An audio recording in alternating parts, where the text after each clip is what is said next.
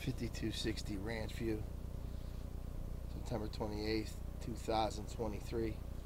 Um, we're entered through the house trap in the driveway down to the city main, pulling back to check condition of line.